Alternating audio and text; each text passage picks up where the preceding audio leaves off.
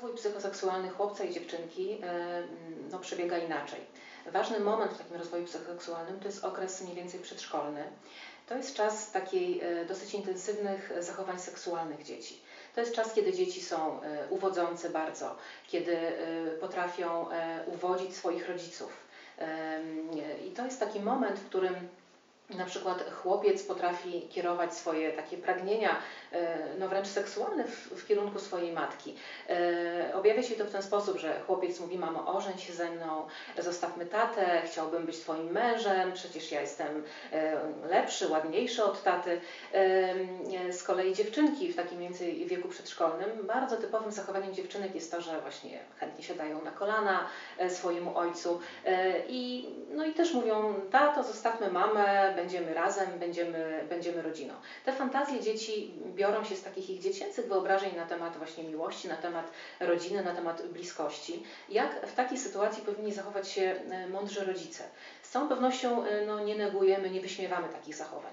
E, mądry ojciec, któremu córka proponuje, że mm, tato ożeń się ze mną, a mamy zostawimy, bo jest nam do niczego niepotrzebna, na pewno nie powinien się z tego śmiać E, powinien mm, jakby podkreślić to, jak ta córka jest dla niego ważna, ale bardzo istotną kwestią jest, żeby powiedział córce, że on ma już żonę, tą żoną jest mama e, i e, właśnie mm, ta sytuacja się nie zmieni. Podobnie jest w sytuacji chłopca. Też musi dostać sygnał od swojej matki, że nawet jeżeli bardzo Ci się podobam, to kochasz mnie tylko jak mamę, a moim mężem jest tata.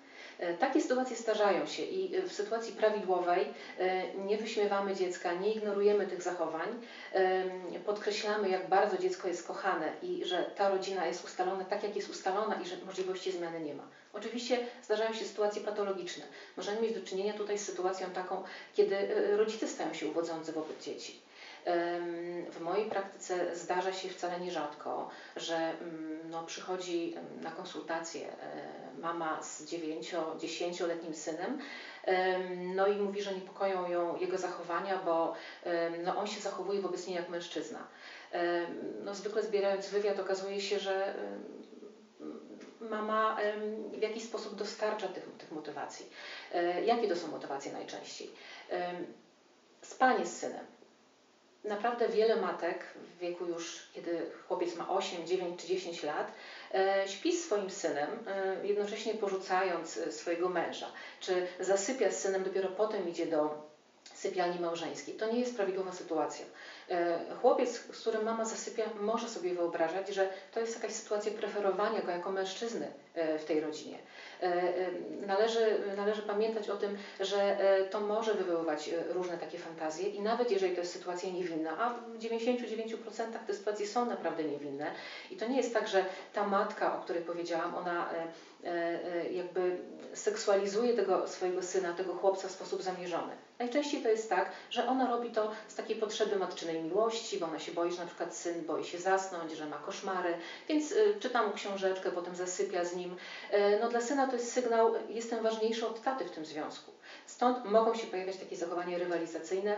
E, takie zachowania no, wymagają na pewno mm, jakiejś, jakiejś, jakiejś zmiany w rodzinie. Tak, z dziewczynkami też może być podobnie, dlatego że mm, jeżeli dziewczynka widzi, że tata cudzysłowie kocha ją bardziej niż mamę, że nie odnosi się do mamy w sposób prawidłowy, nie jest dla niej wystarczająco czuły, no nie jest dla niej wystarczająco dobry.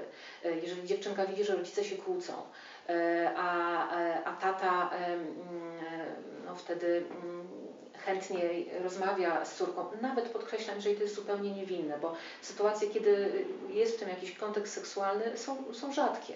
Najczęściej jest tak, że ze względu na jakieś problemy emocjonalne w rodzinie, na kłótnie między rodzicami, czasem się zdarza, że któryś z rodziców jakby ucieka w stronę tej miłości do dziecka e, i wtedy może to być sygnał dla dziecka, że jest to jakaś, no, jakaś próba zmiany modelu rodziny. To jest bardzo nieprawidłowe należy, należy tutaj nad tym pracować terapeutycznie, dlatego że y, taki właśnie okres, kiedy, kiedy dzieci zwracają uwagę na, na rodziców w takim sensie seksualnym, to jest czas, kiedy taka się ustala matryca jakby naszego e, rozwoju psychoseksualnego. To, w jaki sposób kształtuje się nasza seksualność w okresie dzieciństwa, decyduje o tym, e, w jaki sposób nasza seksualność będzie wyglądała w okresie dorosłym, w życiu